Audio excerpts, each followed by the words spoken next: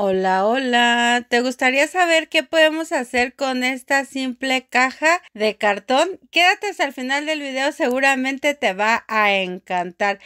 Para comenzar, yo voy a pegar todas las pestañitas que trae esta cajita. Lo voy a hacer con silicón caliente como lo estás viendo en pantalla.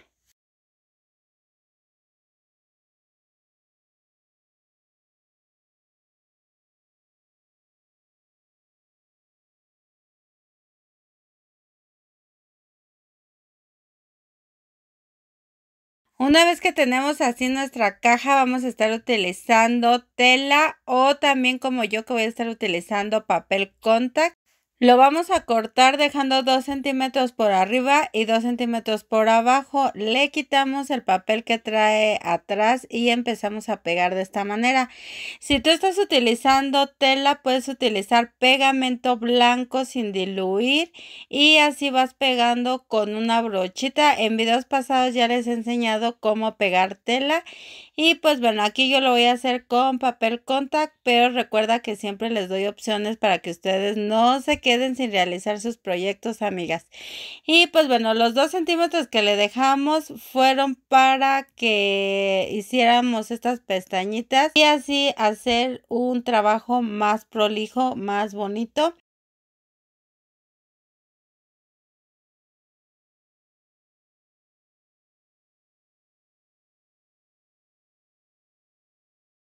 Una vez que tengamos todas las pestañitas pegadas, tanto las de abajo como las de aquí adentro de la caja, vamos a cortar estas piezas de papel contact, dejando 2 centímetros de cada lado y también por la parte de abajo debemos de dejar. Esto es para que las siguientes piezas las cortemos a tamaño. Es decir que dos piezas vamos a cortar dejando dos centímetros en los laterales y las otras dos las vamos a cortar a tamaño por la parte de abajo también le vamos a colocar 2 centímetros de pestañita y pues bueno aquí corté una pieza de cartón a tamaño que cubrí con papel contact y vean qué perfecta ha quedado nuestra cajita. Ahora voy a estar utilizando de esta cuerda. Recuerda que tú puedes utilizar la cuerda que consigas. Si no consigues cuerda o es muy cara en tu país Puedes usar estambre, hilo de algodón, lo que tengas. Si consigues una cuerda muy delgadita, puedes hacer trencitas y con esto le vas a dar grosor o también puedes hacer tejerlo eh, con ganchillo y pues así vas a hacer que tu hilo delgado se haga un poco más grueso. Aquí chicas yo voy a, seguir utilizando de esta cuerda que se parece mucho al macramé. Si tú tienes macramé pues lo puedes utilizar y si no pues utiliza lo que tengas o lo que consigas. Vamos a cortar 18 piezas de 2 metros. Mi caja mide 76 centímetros.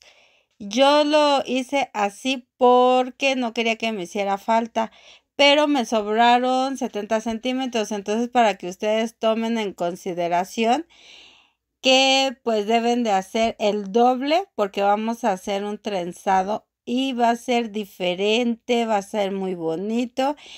Bueno, chicas, eh, antes de continuar, primero pegué 12 piezas y por aquí encima voy a pegar las otras 6 para que me dé un total de 18 piezas. Vamos a dividir en secciones de 3. Vamos a tomar 3 del lado izquierdo y la vamos a poner por encima de otras 3 piezas y vamos a ir de 3 en 3 entonces va a ser una abajo una arriba una abajo una arriba hasta llegar a su lado derecho así como está su pantalla.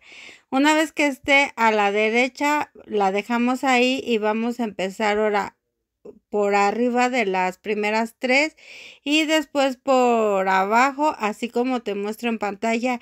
Una vez que llegamos al lado izquierdo vamos a posicionar la cuerda que estaba anteriormente por atrás como pudieron observar.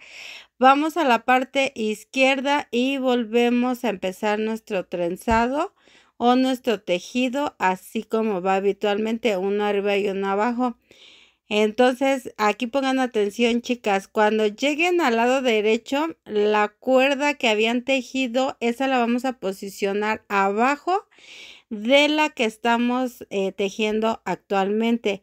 Y acuérdense de ir aplanando sus cuerdas para que no les quede ahí todo feo hecho bolas. Este trenzado queda muy bonito así que quede planito su cuerda. Y así vamos a continuar chicas tejiendo. Recuerden que cuando llegan acá la eh, trenza o las cuerdas que tejimos el anterior la anterior vuelta la debemos de posicionar por abajo de la actual. Espero que me entiendan y si no, pues vuelven a ver el video, chicas. De todas maneras, les dejé bastante de cómo estuve tejiendo para que se guíen. A lo mejor no me sé expresar un poco, pero pues para eso una imagen habla más que mil palabras. Y pues bueno, ya te estaré leyendo en el área de los comentarios qué te está pareciendo esta idea, si te gustó, si te gustaría seguir viendo de este tipo de ideas. Y pues bueno, yo feliz de leerlas como siempre y agradecida con todas ustedes. Muchas gracias por todas sus bendiciones que me dejaron en las imágenes que les compartí en la mañana. Les estoy eternamente agradecida. Que Dios los bendiga mucho a todos y pues bueno chicas. Eh, también si tú eres nueva por aquí en la página o en el canal, te invito a que te suscribas al canal en YouTube o aquí en la página que le das al botón de seguir. Es totalmente gratis. Y pues bueno, también déjenme su super like que para mí es muy importante. Compartan este video con, con todas sus amistades y en todas sus redes sociales. Y pues bueno chicas, continuando con el video, vamos a colocarle silicón caliente para que se fije en lo que pegamos todo el bonito trenzado que hemos realizado. A mí me encantó el resultado, chicas, espero que a ustedes también. La verdad es muy fácil de realizarlo, se ve un poco complicado, pero la verdad es que si le pones atención y lo empiezas a hacer, te resulta muy muy fácil. Y pues bueno ya para acabar y para rematar vamos a seguir aquí la secuencia como traíamos el tejido y vamos a dejar un poquito más grande nuestras cuerdas para posicionarlo abajo del tejido que ya está. Y pues aquí les dejo el video para que pongan atención y lo rematen que claro, ustedes pueden rematar este tejido como ustedes gusten. Recuerden que lo que yo les comparto es solo una idea para que ustedes se puedan inspirar y les pueda despertar un poco de creatividad. Y también pues les agradezco mucho todo su apoyo chicas porque sin ustedes no estaría aquí donde estoy. Les agradezco mucho mucho su apoyo.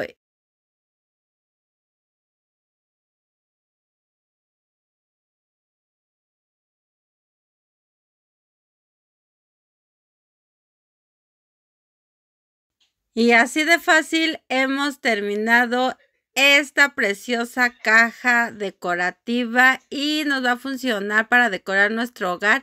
También nos va a servir para eh, organizar, la puedes colocar en el baño y organizar tu champú, tus cositas que tengas. También la puedes utilizar en la cocina, en tu estudio, en tu recámara. En fin, te voy a estar leyendo para que me dejes eh, dónde la vas a estar utilizando.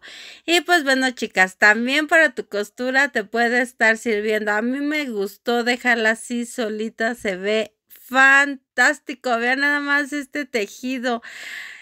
Si te gustó, dale like y déjame un lindo comentario, comparte el video y se despide de ustedes su gran amiga Susy Vargas de Susy Reciclaje Creativo. Hasta la próxima, bye.